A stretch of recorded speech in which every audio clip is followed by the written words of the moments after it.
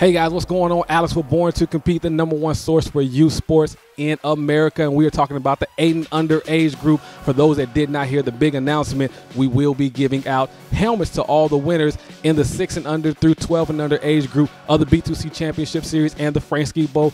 And we have something else coming for them, which is going to be absolutely huge at number three, the most underrated team in the state. I know they're jumping up and down right now. The New Rock Redskins out of the Georgia Extreme Youth Football League at number two.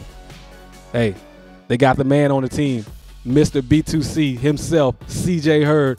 The Atlanta Ducks, Coach DeMarcus over there is doing a great job. Uh, Coach Mario is over there doing a great job. Benjamin, listen, they do a fantastic job with the Atlanta Ducks. It seems like Coach Brandon and Coach Kai, who helped start that organization, finally got those boys rolling. They have gotten so much better than at the start of the year.